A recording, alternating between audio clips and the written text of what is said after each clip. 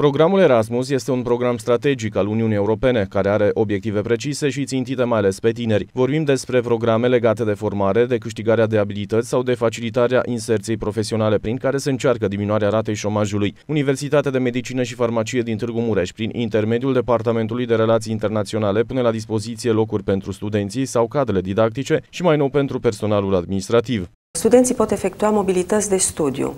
Mobilitățile de studiu se referă la un semestru de studiu sau chiar la un an întreg de studiu.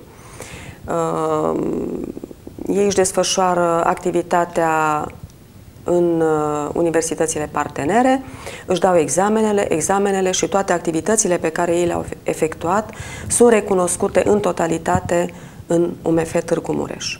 Dar cel mai mare succes îl au mobilitățile de plasament sau cele de practică. Aceste mobilități permit petrecerea a două-trei luni de zile în străinătate, într-o universitate sau într-un cabinet medical sau într-un uh, centru de cercetare și eu consider că mobilitățile de acest tip sunt uh, foarte, foarte benefice pentru medici. În ceea ce privește cadrele didactice, mobilitățile se desfășoară pe o perioadă mai scurtă.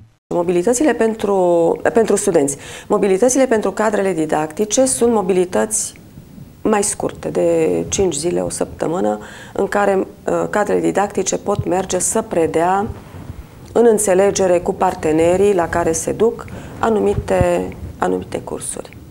Și personalul administrativ din universitate poate să beneficieze de burse STT. Că la aceste mobilități pot participa nu numai cadre didactice cu funcții administrative, ci și alte, alt personal administrativ, cum este personalul uh, juridic, uh, de la contabilitate, de la biblioteci, din secretariate. Universitatea de Medicină și Farmacie din Târgu Mureș este una dintre cele mai bine finanțate universități de medicină din țară, adică dispune de cele mai mari fonduri, iar ca și plasare față de alte universități este a doua din România la creșterea numărului de mobilități.